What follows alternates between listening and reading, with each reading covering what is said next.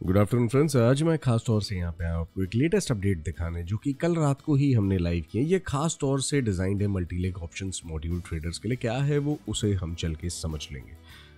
Now this is quite an interesting feature okay and was the need of the hour because स्टॉक्सों पे बहुत सारे multileg traders काम करते हैं। एंड इनफैक्ट काफ़ी बड़ी कैपिटल डेस्क भी काम करती हैं which with with triple digit crores of capital I can say and आप सिंपली अगर देखें तो मल्टी लेग में खास तौर से एक चीज़ थी यहाँ पे स्ट्रैटेजी स्टैक पे हमने एंट्री और एग्जिट रीट्राई सेटिंग्स दी हुई हैं ठीक है ना?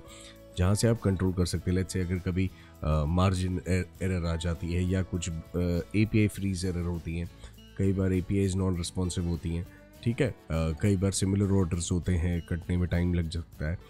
तो आपके लिए खास तौर से यहाँ पे एक चीज़ देती तो मैं एड पोर्टफोलियो में चला जाऊँगा and we'll just go and look at it क्या है वो चीज़? तो हम एग्जिट सेटिंग्स पे आ जाएँगे।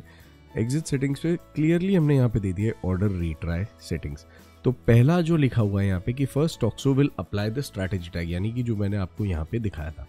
ठीक है ना? As per the entry and exit order settings but ये जो प्रोटोकॉल है, ये एक फेल ओवर सेटिंग है कि स्ट्रैटेजी टैग वाली सेटिंग अगर फेल हो गई, किसी कारण से नहीं हुई तो यहाँ पे वो इजीली उसे ओवरटेक करेगा एंड कोशिश करेगा कि अपने ट्रेडर को पुल ऑफ़ कर सके ट्रेड में से, ठीक है? तो आपने जैसे यहाँ पे डिफाइन कर दिया कि wait between reach each retry let's say five retries okay या फाइव सेकेंड्स का वेट डाल दिया मैंने just in case to be double security you know and maximum wait time डाल दिए। So it will keep on retrying as per the count तो ये आपकी बहुत मदद करता है अगर आप पे मार्जिन एरर आ रही है या आप पे कभी कोई ए लिमिट की एरर है। तो this is very beneficial for you to be safeguarded तो उम्मीद है आपको ये नया फीचर नया अपडेट पसंद आया होगा। एंड चैनल से ज़रूर जुड़े रहें बिकॉज़ रेगुलर अपडेट्स के वीडियोस वहीं पे आते हैं।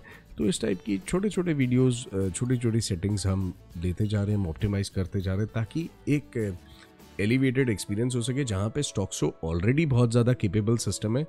बिकॉज़ पहली चीज़ जहाँ पे हम बात करते हैं कमर्शियल्स की भी तो बेसिकली स्टॉक्सो जितना advanced at this commercial there is nothing that exist execution speed to match up of the Stoxxo there is nothing that can compete और doesn't exist I would say and third पहलू होता है कि जब multiple portfolios यानी स्टॉक्सों पे users thousand thousand portfolios पाँच पाँच सौ पोर्टफोलियोज इस तरीके से काम करते हैं, ठीक है?